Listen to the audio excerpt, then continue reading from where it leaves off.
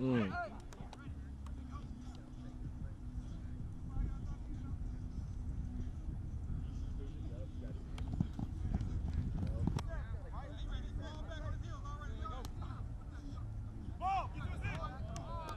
Now move your feet, man.